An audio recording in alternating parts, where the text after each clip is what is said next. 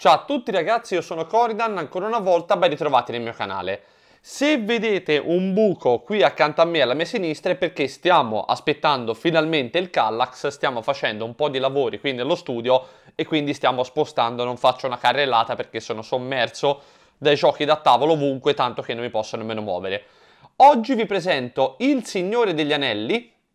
gioco ufficiale wargame di miniature di battaglie della Games Workshop e materiale che ci è stato fornito dal nostro negozio sponsor Gioco Libreria Semola di cui tanto poi vi lascio sempre. Primo link in descrizione e in sovraimpressione a fine video. Quello che vi andiamo oggi a mostrare non è il normale gioco di schermaglie o di battaglie campali su larga scala, ma le Battle Companies che vedete qui davanti che è un nuovo manualetto, nuovo insomma è uscito già da qualche anno, è una nuova versione o variante del gioco per il Signore degli Anelli e l'Hobbit con cui potrete fare delle vere e proprie piccole schermaglie, una specie di, apro parentesi ovviamente,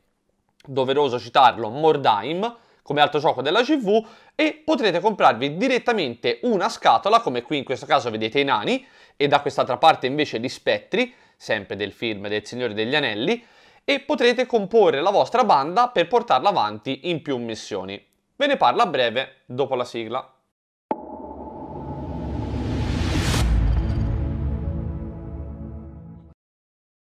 Il Signore degli Anelli e l'Hobbit Battle Companies, gioco della Games Workshop, è un titolo che vi permetterà di prendere le vostre miniature direttamente comprando anche una scatolina come questa nel caso dei nani che vedete qua giù davanti in armatura pesante, o quest'altra parte, gli spettri, vi ricordate, dei tumuli, per comporre la vostra banda. E qui nel manuale, come ora poi vi farò vedere nel corso del video, ci sono tutte quante le regole per comporre la banda. Preciso subito, apro una piccola parentesi, in questo manuale non troverete nemmeno una regola di gioco. Le regole di gioco sono quelle normalissime del Signore degli Anelli, quindi vi dovete comprare il manuale, il codex del gioco di base di battaglie campali del Signore degli Anelli per avere tutto quanto il regolamento. Qua troverete soltanto le cose in più per questo gioco, ma non ci saranno eh, setup e tiri vari, che ne so, tiro per colpire, tiro per ferire, tiro a distanza. La meccanica di come funziona tutta la battaglia qui non c'è scritta per niente. Ci sono unicamente le regole per comporre le vostre warband, le vostre bande, ed è praticamente, per farvela il più veloce possibile, è Mordheim. Vi andate a comporre la banda, chi a seconda della banda scelta che sono armate della luce e dell'oscurità, buoni e cattivi, armate buone potrebbero essere i Gondoriani, gli uomini di Rohan, oppure anche gli elfi di eh, Galadriel o di Mirkwood o anche del mezzelfo Elrond di Rivendell. Mentre da quest'altra parte si potrebbe andare su Kiri Tungol, ad esempio Angmar, eh, le armate di Mordor, gli Urukai di Isengard e moltissime altre cose, ovviamente anche le truppe, quelle degli orchi, orchetti e goblin, viste nella città dei goblin in altri mm, spezzoni dell'Hobbit, del film dell'Hobbit, ed è molto interessante perché voi comprate una scatolina, fine. Qui per davvero comprate una scatolina soltanto ed è finita, anche perché queste sono le scatole normali del, dello strategy game, come vedete qua su in cima, quindi non esistono le vere e proprie scatole delle bande, ma comprate quelle normali. E magari in una banda degli spettri ne potrete usare 5 o 6, non di più. Quindi gli altri ovviamente sono truppe che potrete poi avere secondo il regolamento o come supporto o come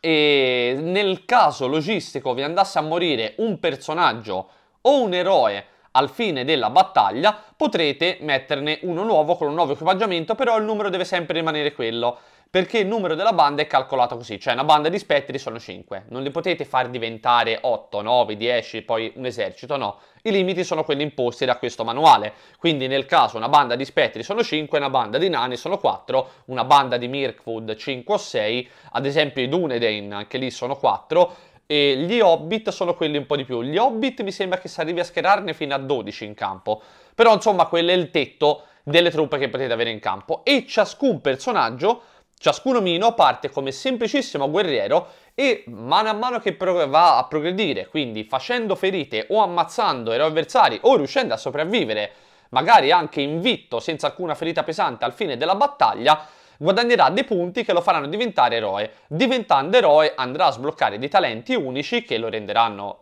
fortissimo, tipo c'è un talento per gli arcieri, per l'eroe arciere che può tirare due frecce, cioè tira due volte. Immaginatevi in un elfo di Lothlorien o di Mirkwood che già hanno una mira disumana, invece di tirare una freccia ne tira due nel suo turno ed è tanta roba. E possono diventare anche tutti eroi andando avanti. Però per ogni casualties, quindi per ogni omino che a fine della battaglia viene rimosso dal campo, nel caso facciamo conto che lo spettro ha tirato su un nano, a quel punto lì bisognerà andare a tirare sulla tabella delle casualties e con 1-2 sarà morto, quindi proprio morto, persa l'esperienza e tutto, e l'andate a riprendere con la fama come vi dicevo prima, se avete guadagnato punti fama e avete rinforzi, o se no potrebbe diventare ferito, non succede niente di particolare, si riprende, oppure non è successo, e, o salta la battaglia successiva, oppure invitto tranquillamente non ferito e niente di fatto, la battaglia dopo è lì sul campo. Lo stesso anche per gli spettri, nel caso dissolto,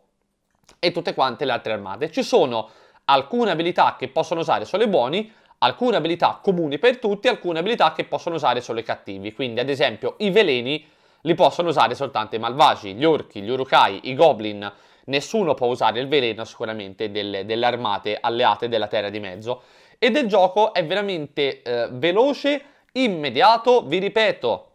non comprate soltanto questo perché qui trovate le regole, cioè non tanto le regole, le regole per comporre le bande, ma le regole di gioco non ci sono, non c'è una singola regola in questo manuale. Dovete comprare il manuale normale del gioco di strategia del Signore degli Anelli e questo come supplemento aggiuntivo. Per me, ragazzi, è un titolo che merita veramente molto. Ovviamente per gli spettri abbiamo scelto una colorazione bianca, verde, eterea, mentre per i nani classico color acciaio per l'armatura, un po' di nero addosso, magari un castano marrone per le barbe, ma sono pitture da battaglia, per schierare le truppe, non sono pitture da vetrina. Io ancora una volta ringrazio la Gioco Libreria Semola per tutti i prodotti forniti e vi ricordo che se lo volete ordinare, primo link in descrizione in sovraimpressione dalla Gioco Libreria Semola, nostro negozio sponsor ha il miglior prezzo sul mercato e se andate sul sito c'è sicuro, però finite le copie oppure rimosso dal catalogo, mandate una mail al supporto a Corrado e scrivete arrivo dal canale di Coridan, si potrebbero avere queste cose che lui ce l'abbia ma sia finito o proprio non ce l'abbia in catalogo, farà il possibile per trovarvelo e soprattutto usate sempre il codice discount Corridan7, al momento dell'acquisto scrivete discount Corridan7, tutto maiuscolo, per avere uno sconto del 7%. Per spese superiori ai 79 euro, corriere gratuito in tutta Europa, quindi anche fuori dall'Italia, isole comprese, in 48 ore ordinatevi arriva a casa. E ragazzi questo Battle Companies è veramente interessante perché vi consente di giocare al Signore degli Anelli in modalità Mordheim, pari pari pari e dentro il manuale c'è anche la modalità schermaglie normalissime, quindi battaglie, o la mod- quindi ognuna a sé stante, o la modalità campagna per seguire una vera e propria storia con la vostra banda. Quindi è uno spettacolo assurdo e le miniature sono di altissima qualità, ovviamente roba della Games Workshop mi sembra il minimo. Andate a vedere sul sito della Gioco Libreria. Ciao ragazzi, alla prossima!